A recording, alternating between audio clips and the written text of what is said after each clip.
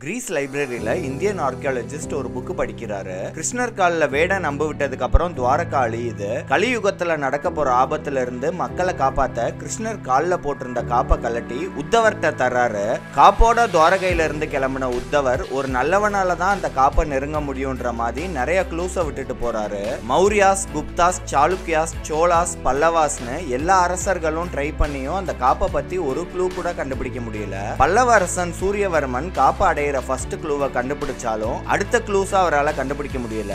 India வந்த Greek டிராவலர்கிட்ட இதை பத்தி சூரியவர்மன் சொல்லி அவர் எழுதின புக்கை தான் இந்த ஆர்கியாலஜிஸ்ட் படிச்சிருப்பாரு. இன்னொரு பக்கம் இந்த மாதிரி சால்வ் பண்ண முடியாத விஷயங்களை சால்வ் பண்ற டாக்டர் கார்த்திகேயாவா காட்டுறாங்க. இவர் எப்படிப்பட்டவர் இவரை எல்லாரும் எப்படி பாக்குறாங்கன்னு காட்டிட்டு நடந்த சில சம்பவங்கள்னால ஜோசியக்காரரை வர சொல்லி இவங்க அம்மா பரிகாரம் கேக்குறாங்க. ஜோசியர் பரிகாரமா துவாரகாக்கு போக சொல்றாரு. துவாரகால ஹீரோவை சுத்தி நிறைய விஷயம் நடக்குது. அவருக்கு ஒண்ணுமே புரியல இதை அனுப்பமா அவருக்கு பொறுமையா எக்ஸ்பிளைன் பண்றாங்க. இருக்க க்ளூவை வச்சு கிருஷ்ணர் காப்பை கண்டுபிடிக்க ஹீரோவும் அவரோட டீமும் போற அட்வென்ச்சர் ஜேர்னி தான் கார்த்திகேயா டூ படத்தோட கதை. ஹீரோ நிக்கிலுக்கு பில்டப் ஷாட்ஸ் தேவையில்லாத பஞ்ச் டயலாக்னு வச்சது படத்தையே ஸ்லோ பண்ணுது. வேற யாராச்சும் லீட் ரோல் பண்ணியிருந்தா இன்னும் பெட்டரா இருந்திருக்கும். அனுபமா ஹீரோக்கு சைட் கிக்கா படம் ஃபுல்லா வர்றாங்க. கதையோடைய ரொமான்ஸ் போர்ஷனை வச்சு அதுக்குன்னு தனியா ஒரு ட்ராக் எழுதாம பாக்குற ஆடியன்ஸ்க்கு நல்லது பண்ணியிருக்காங்க.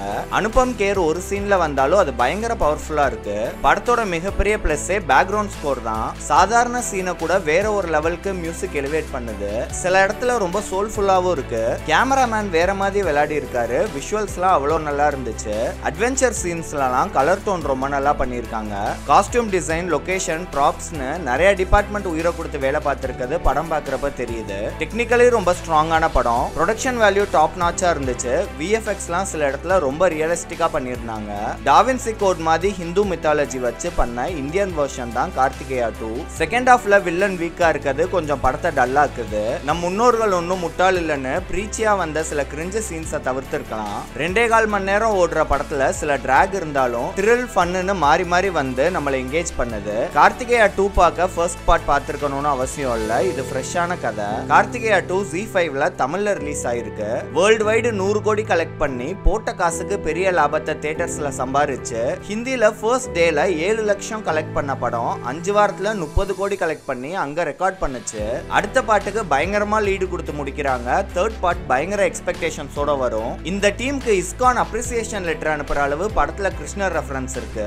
எபோ ஆவரேஜ் படம் ஏத்திஸ்டுக்கெல்லாம் படம் ஒர்க் அவுட் ஆகாது. மகாபாரதம் பார்க்குற ஆடியன்ஸ்க்குலாம் ரொம்ப பிடிக்கும். தாராளமா வீக்கெண்ட் குழந்தைங்களோட உட்காந்து பார்க்கலாம் அவங்களும் என்ஜாய் பண்ணுவாங்க. எந்த பொண்ணு உன்னை ஏன் காப்பாத்துனா?